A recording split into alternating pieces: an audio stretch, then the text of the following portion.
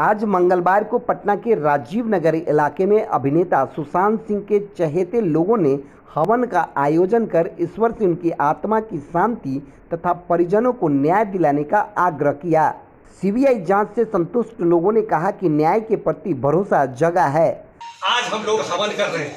ये हवन विधिवत हो रहा है और ये इसलिए हो रहा है कि आज सुशांत सिंह राजपूत का जो न्यायालय, जो सीबीआई का जाँच चल रहा है, या जिस तरह से पॉलिटिकल जिस तरह से राजनीतिकरण कुछ लोग जो उनके दुश्मन कर रहे हैं, हम लोग आज भगवान के शरण में उनके फैंस जो सुशांत सिंह के जो फैंस है, बिहार की जो टीम है justice for Sushant for Bihar वह आज सारा टीम आदिदेव मंदिर, जो मंदिर, ये सुशांत का मंदिर है ये जगह पर खेला था, कूदा था, बड़ा हुआ था। एक साल पहले भी यहाँ आके पूजन, पूजा किया था हाँ मई महीना में। तो ये उसका मंदिर है और यहाँ पर निश्चित रूप से आज हम लोग जो हवन कर रहे हैं तो कल तक रिज़ल्ट ज़रूर अच्छा आएगा और भारी संख्या में लोगों ने हवन पूजा के लिए उसी मंदिर को चुना, जहाँ सुशांत पूजा किया करते थे। Bureau report, SDF news, Patna.